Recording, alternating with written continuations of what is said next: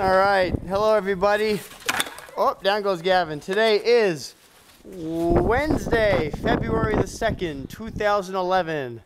We are in Hawthorn Woods, Illinois. Say hi, Gavin. Hi. It's Groundhog's Day, and we got the biggest snowfall we've had in quite a number of years. They say we have about 18 inches of snow, um, but the snow drifts is what is the most impressive. So this is our driveway, which is hard to see the perspective, but there is a driveway. No snow here, but about four feet of snowdrift in front of the driveway.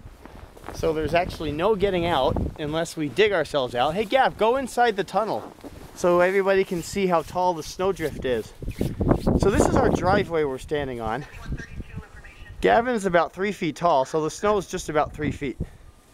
And this is amazing. Streets are not passable. Well, actually they are, they just cleared them. But most of the roads they say not to drive on. And Gav, are you having fun shoveling? Yeah. Do you like the snow? Yeah. Uh, Do you have a snow day today? No school? No. That's right.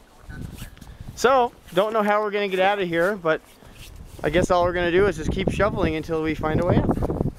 In the meantime, we're going to enjoy it. So, here we are.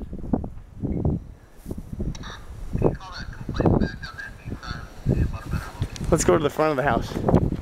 You can see this. So this is a snowdrift. I'm just showing everybody the front of the house. Look at this. This is a natural snowdrift.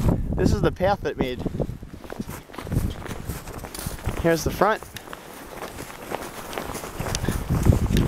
And that's as far as we could make it because the snow is about five feet tall up there. All right. What a fun day. going to be a lot of shoveling today. Look at that.